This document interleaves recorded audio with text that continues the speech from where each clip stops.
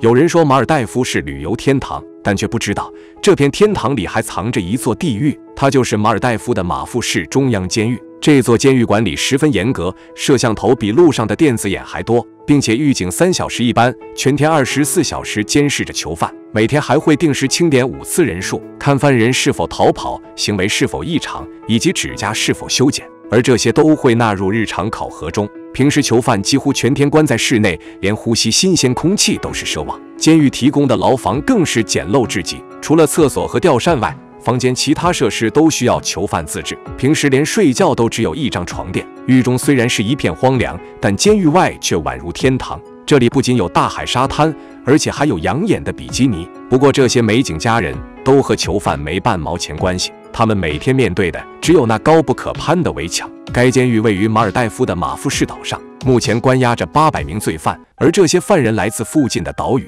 其中最大的犯罪产地是马尔代夫的首都马累。虽然这个弹丸之地仅六平方公里，但它却有十五万常住人口，因此被认为是世上最拥挤的城市之一。除了人口密度遥遥领先外，马累的吸毒率也领先世界。据估计，这里每十人就有一人吸毒成瘾。要知道，该国信奉伊斯兰教，对待毒品犯罪可非常严厉，即便是拥有少量毒品，那也可能喜提十五年监禁。而被抓的当地人或游客。最终都会送往马富士岛上服刑。为了防止囚犯中途逃跑，押运船经过了特殊改造，其甲板下是封闭的拘留室，因此又被称为海上移动监狱。当船到达岸边码头后，几步之外便是犯人的新家。不过在乔迁新居前，狱警会彻底搜查囚犯，以防有小聪明夹带毒品和武器入狱。监狱不仅对待囚犯谨慎，而且对自己人也是如此。其中手铐是狱警唯一能带进的东西，除此外不能携带任何武器，因为怕被囚犯抢夺。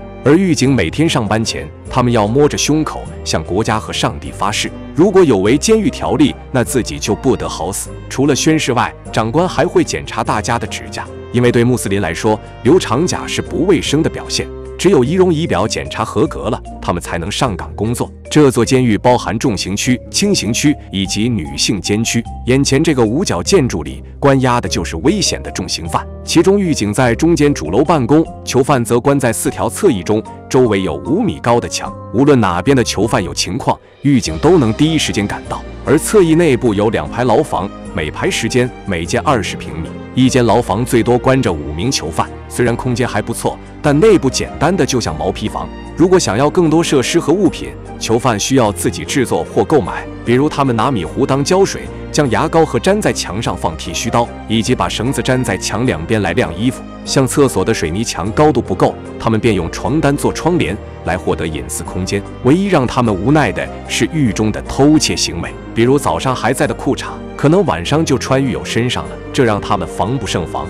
除了住宿条件差外，监狱的伙食也很差，因为岛上的食材基本靠进口，价格十分昂贵，所以什么东西便宜，监狱就制作什么。可即便是这样，每人每天的食物花销也要四点八美元，折合人民币三十五元。而这些做饭的人并不是囚犯，原因是监狱害怕犯人偷走刀具。每天食物做好以后，狱警会骑车派送到监狱中，然后交由犯人分发。这名小伙由于吃不惯监狱的菜，每天他只打些米饭，然后靠买来的罐头下饭。而一个罐头一点五美元，这在狱中是非常奢侈的。如果囚犯没有家里提供经济支持，那想在狱中这样任性，就需要找到一份工作。不过，监狱对求职者有一些要求：一是服刑期间不能有记录；二是要心理健全。满足条件的可以申请工作，通过后有机会去种植花卉或在木工车间工作。囚犯通过制作工艺品。每月能拿到九百卢菲亚，相当于人民币四百二十六元，而赚到的钱能买食物、衣服以及香烟等。但每个月最多只能花一百三十美元，因为不限额的话，囚犯之间可能私下进行非法交易。对于那些没有获得工作机会的囚犯，平时他们几乎都在室内，每天只有半小时外出时间，而外出的地点在一个五米高的露天庭院里。虽然院子里有个篮球框，但监狱不提供篮球，就算有篮球也没法打。因为地上全是沙子，犯人一般是围着院子绕圈，基本没啥意思。而女性监区就不一样了，他们能和狱友一起打排球，白天还能在楼里自由走动。不过女性监区会更重视伊斯兰规则，狱警会要求他们打扫牢房，以及每天修剪指甲，在空闲的时候还要把床垫拿出来晒一晒，好让大家养成良好的卫生观念。总体来说，这里要比男性监区自由很多。不过这毕竟还是在监狱中，如果有人想从这里越狱，那基本是痴人说梦。因为就算突破了监狱的戒备，也还要面对一望无际的大海，除非乘坐飞机或船离开该岛，不然越了狱也会被抓回去。即便是这里工作的狱警，想离岛也不是件容易事。他们的家离监狱很远，光是坐船都要一天时间，所以狱警也只好住在监狱，住宿条件比囚犯好不了多少。